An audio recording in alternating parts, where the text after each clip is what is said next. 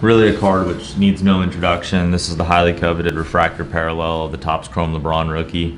Awarded a mint designation overall. It's undeniably pack fresh throughout. Just maybe a 10 point centering shift right to left. But otherwise, just absolutely pinpoint sharp. Everything is what we'd expect given the lofty grade. Surfaces are amazing. Card looks like it came out of a pack yesterday.